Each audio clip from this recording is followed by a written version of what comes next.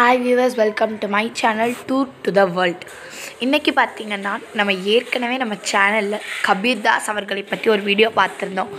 அதோட தொடர்ச்சியாக இன்றைக்கி குரு நானக் அவர்களை பற்றி ஒரு வீடியோ பார்க்க போகிறோம் இந்த குரு நானக் அவர்களை வந்து நம்ம நிறைய ஹிஸ்ட்ரி புக்ஸில் பார்க்க முடியும். போல் அந்த ரத்னா சாகர் சிலபஸில் இவர் இருக்கார். சரி இப்போ குரு நானக் யார்? அவர் பிறந்த இடம் வந்து தல்வண்டி அப்படின்னு சொல்லுவாங்க.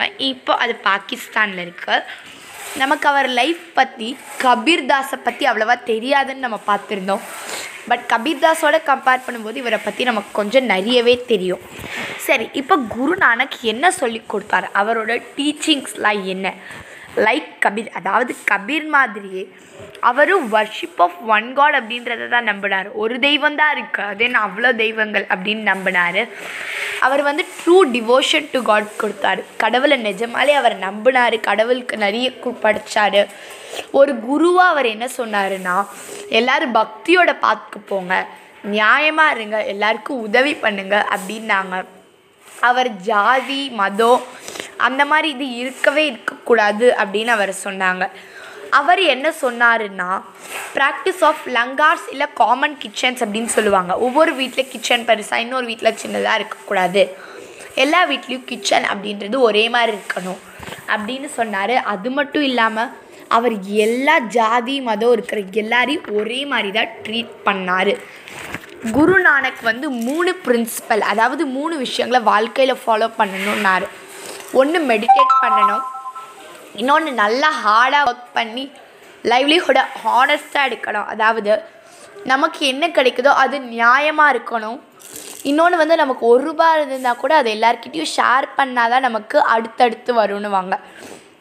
அவருடைய ஃபாலோவர்ஸ் அதாவது அவரை ஃபாலோ பண்ணவங்க வந்து அவங்க ஹவுஸ் ஹோல்டர்ஸாக இருந்து அவங்க அவங்களோட வாழ்க்கையை ஒரு யூஸ்ஃபுல் அக்குபேஷன் மூலமாக இது பண்ணாங்க.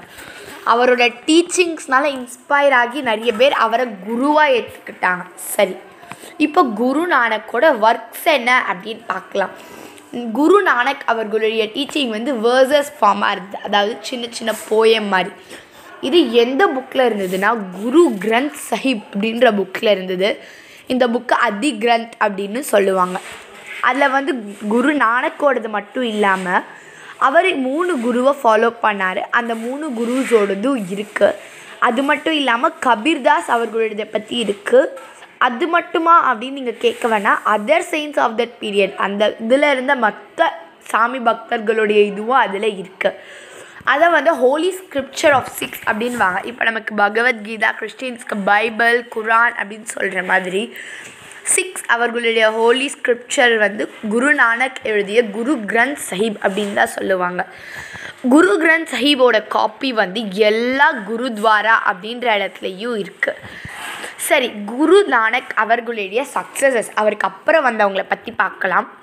ஒன்பது பேர் இருக்காங்க. தேவ் குரு அமர்தாஸ் குரு ராம்தாஸ் குரு அர்ஜுன் தேவ் குரு ஹர்கோவிந்த் குரு ஹர் ராய் குரு ஹர்கிஷான் குரு டேக் பகதூர் அப்புறம் Guru Gobind Singh. Friends thank you பிடிச்சிருந்தா லைக் ஷேர் பண்ணுங்கள் மறக்காமல் என் சேனலுக்கு சப்ஸ்கிரைப் பண்ணி பக்கத்தில் இருக்க பெல் ஐக்கானை கிளிக் பண்ணிடுங்க. உங்களுக்கு எந்த டாப்பிக்கில் வீடியோஸ் வேணுமோ கமெண்ட் பண்ணுங்கள் thank you friends time spend பண்ணதுக்காக. Again thank you thank you thank you